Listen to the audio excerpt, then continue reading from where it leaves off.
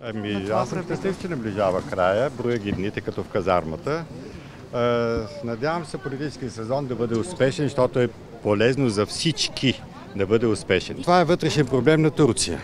Второ, чакаме окончателния доклад от ОССЕ, Организацията за сигурност и сътрудничество в Европа.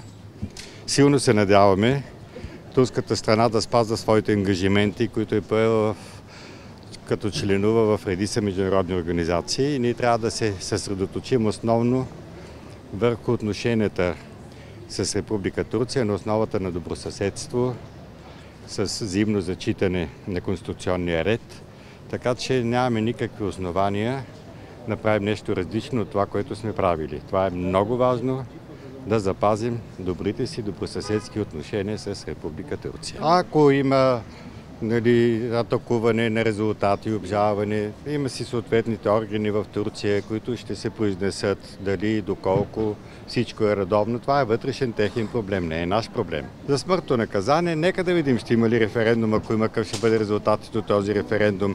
Ако приемат смъртно наказание, това ще ги отдалечи много от възможността да бъдат в перспектива членки на Европейския съюз.